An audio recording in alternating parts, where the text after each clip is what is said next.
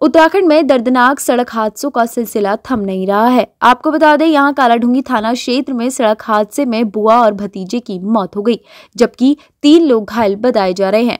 जानकारी के मुताबिक सभी लोग उत्तर प्रदेश के रामपुर के रहने वाले थे, जो हल्द्वानी में हुई किसी रिश्तेदार की मौत पर उनसे मिलने आए थे। बता दें कालाडूँगी थाना क्षेत्र के बाजपुर मार्ग से गड़प्पू जंगल की ओर कार अनियंत्रित होकर पेड़ से जा टकराई और इस हादसे में दो लोगों की मौत हो गई, जबकि तीन लोग घायल बताए जा रहे हैं।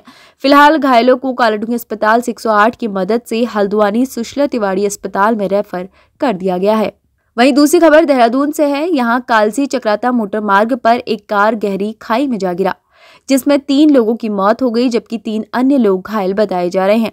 पुलिस ने घायलों को अस्पताल पहुँचाया, जहाँ मृतकों के शव को कब्जे में लेकर पोस्टमार्टम के लिए भेज दिया गया है। जानकारी के मुताबिक, हादसा कालसी चक्राता मोटर मार्ग पर छावनी बाज़ार और छावनी परिषद कार्यालय के बीच हुआ। यहाँ पर कार 500 मीटर गहरी खाई में जा गिरी। बता दें कार सवार रायवाला थाना क्षेत्र के छिदरवाला में किसी परिचित के घर आए थे और फिर चक्राता की ओर घूमने निकल गए और बुधवार देर शाम चक्राता से विकासनगर की ओर लौट रहे थे कि उस दौरान वो हादसे का शिकार हो गए। हादसे में कार सवार तीन लोगों की मौत हो गई, जबकि तीन लोग गंभीर रूप से घायल बताए जा रहे हैं।